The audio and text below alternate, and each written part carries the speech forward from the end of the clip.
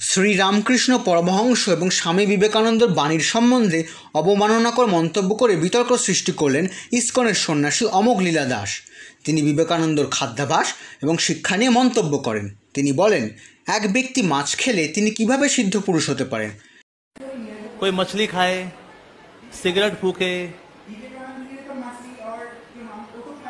तो गलत किया ना देखो दिव्य पुरुष है, नहीं है। ये बाकी बात। पहली बात, कोई भी दिव्य पुरुष किसी जानवर को मार के खाएगा। क्या वो मछली खाएगा? मछली को दर्द होता है? और अगर विवेकानंद अगर मछली खाए, ठीक है तो क्या एक सिद्ध पुरुष मछली खा सकता है? अगर आप, आपके सामने एक सिद्ध पुरुष हो, क्या मछली खाएगा वो? सिद्ध पुरुष के हृदय में करुणा होती है। क्या सिद्ध पुरुष फाफा फाफा कर सकता है? नहीं कर सकता है।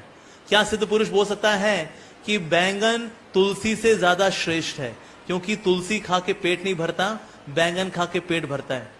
ठीक है ये? फुटबॉल खेलना भगवत गीता से ज़्यादा श्रेष्ठ है। ठीक है ये? अगर कोई ऐसा बोले तो ठीक है ये? नहीं। ये ठीक नहीं है। একই সঙ্গে তিনি এও বলেন রামকৃষ্ণ বলেছিলেন যত মত তত পথ সব রাস্তা গন্তব্য যায় এই বাণীও সত্য হতে পারে না यतो मत ततो पत कोई बोले अच्छा अच्छा अगर मेरे को पहुंचना है ऑस्ट्रेलिया तो कैसे पहुंचेंगे तो यतो मत ततो पत जिस रास्ते से निकलना है निकल जाओ सब रास्ते ऑस्ट्रेलिया जाते हैं वो निकल गया एक अंटार्कटिका निकल गया वो वो पहुंच गया अलास्का पहुंच गया वो पहुंचेगा ऑस्ट्रेलिया नहीं सारे रस्ते ऑस्ट्रेलिया नहीं जाते। मेरे को यहाँ से मायापुर जाना है। कहता तो सब रस्ते। गंगा नदी की इसका निकल जाओ तो भी मायापुर इस तरफ़ निकल जाओ तो भी मायापुर। उस तरफ़ निकल जाओ मायापुर यहाँ निकल जाओ मायापुर। ऊपर निकल जाओ मायापुर नीचे निकल जाओ मायापुर। सब रस्ते मायापुर जाते हैं। जोतो मौत तो, तो पौत। ये तो लॉजिकली भी सेंस नहीं बनाता ना।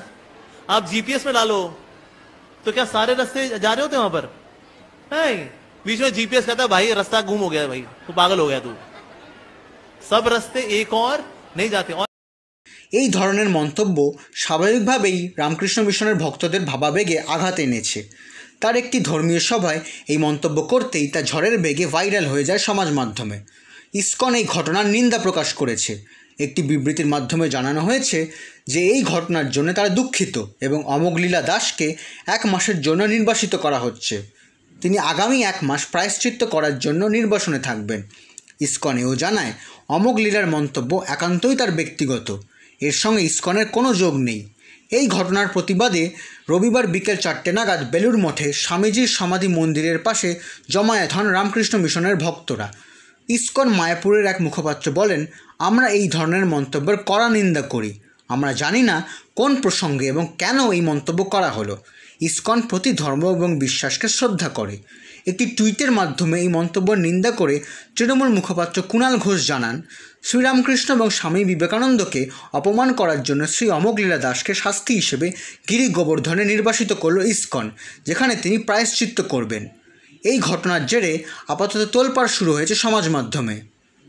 ক্যালকলিং টিভি।